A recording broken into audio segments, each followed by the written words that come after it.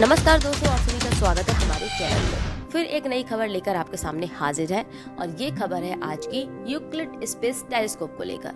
दरअसल दोस्तों, Euclid space telescope इस समय चर्चा का विषय है क्योंकि 2030 में इसकी लॉन्चिंग होगी।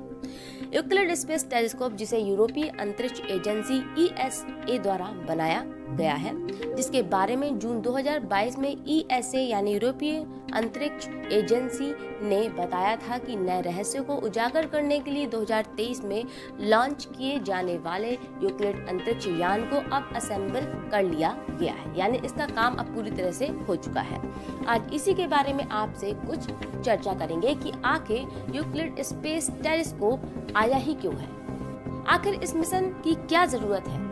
दोस्तों तो ब्रह्मांड को जितना भी अब तक समझा गया, उतना कम है, क्योंकि हर बार इसे जितना समझने की कोशिश की गई, कुछ नया ही आयाम सामने आया, क्योंकि वैज्ञानिक लगातार ये बताते ही है, अपनी चर्चा में कि हमने अब तक ब्रह्मांड का कुछ भी नहीं जाना, क्योंकि ये बहुत बड़ा है, इसे जितना समझो कम है। वहीं यूरोपीय अंतरिक्ष एजेंसी के इस मिशन का उद्देश्य छह साल का है, जिसमें ये सूर्य की परिक्रमा तो करेगा ही, साथ ही साथ ब्रह्मांड का थ्री नक्शा बनाने के लिए तस्वीर भी लेगा, ऐसे काम शामिल है इस मिशन में।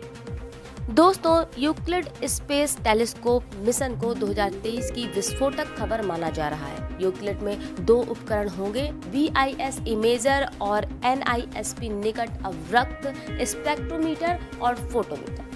जिनका काम होगा 10 अरब प्रकाश वर्ष तक की अरबों आकाश गंगाओं का अवलोकन करना, फ़ोटो, मैट्रिक और स्पेक्ट्रोस्कोपिक गुणों का स्टडी करने के लिए थ्री पिक्चर्स को लेना। इसके अलावा सौर पैनल भी होगा जो मदद करेगा बिजली पैदा करने और अंतरिक्ष की तरफ़ दूरबीन का मुख करने में, ताकि अंतरिक्ष को और करीब से जाना जा सके। इस मिशन को ज़रूरी इसलिए भी माना जा रहा है क्योंकि खगोलविदों को यह जानने की मदद मिलेगी कि ब्रह्मांड का विस्तार कैसे हुआ और ब्रह्मांडी संरचनाएँ आखिर कैसे बढ़ी हैं ब्रह्मांड में। क्योंकि यूक्लिड अरबों प्रकाश वर्ष दूर अरबों आकाश गंगाओं की तस्वीर लेने का काम करेगा, इसके साथ ही रात के आकाश के एक तिहाई से अधिक एरिया को कवर भी करेगा, ताकि बारीक से बारीक खबर पर भी इसकी नज़र रहे। वैसे एक जो सबसे ज़रूरी काम है इस मिशन का, इस टेलीस्कोप का, वो है डार्क एनर्जी और डार्क मैटर की स्टडी में मजबूती लाना। क्योंकि इसको लेकर अभी भी बहुत सारी बातें हैं जो मिथ हैं। वैसे डार्क एनर्जी और डार्क मैटर टेलीस्कोप के द्वारा तो दिखाई नहीं देगा।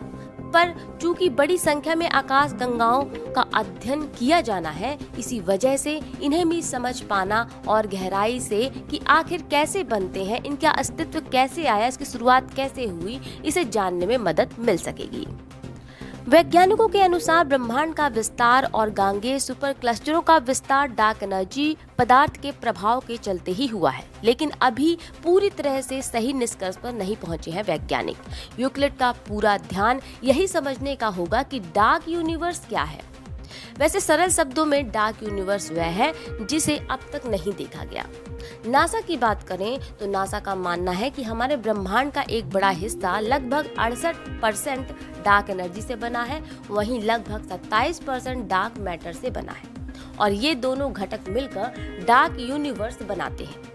वहीं कई खगोल विदों का मानना है कि अरबों आकाश गंगाओं में स्थित खरबों तारे और ग्रह ब्रह्मांड का सिर्फ़ पाँच परसेंट हिस्सा ही बनाते हैं।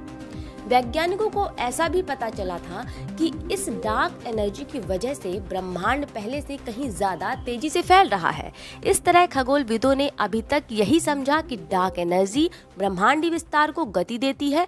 वहीं डार्क मैटर ब्रह्मांडी संरचनाओं के विकास को नियंत्रित करने का काम करता है। लेकिन इस बात की कितनी संभावना या सच्चाई है, वे अभी भी नहीं जानते और इसी के लिए यूक्लिड मिशन को तैयार किया गया है ताकि सही क्या है उसका पता लगाया जा सके। तो दोस्तों, ये थी पूरी बात यूक्लिड स्पेस टेलीस्कोप को लेकर, जिसे यूरोपीय अंतरिक्ष एजेंसी द्वारा बनाया जा रहा है और जिसकी लॉन्चिंग 2023 में की जानी है। फ़िलहाल इस खबर में इतना ही, और खबर के लिए जुड़े रहे हमारे चैनल से। हमें इजाज़त दे, फिर मिलेंगे नई खबरों के साथ। नमस्कार।